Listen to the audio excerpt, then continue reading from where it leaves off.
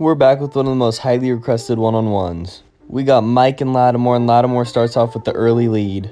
We got Big Mike right here on the comeback. He beats Lattimore and he ties it up. Also, you guys should go check out my YouTube. The post route earlier didn't work, but the post corner gets enough separation to make the catch. We got a one-on-one jump ball. Mike Evans cannot come down with it. Lattimore swats it away. We got Mike Evans on the sail, and I honestly have no idea how he came down with this when he wins.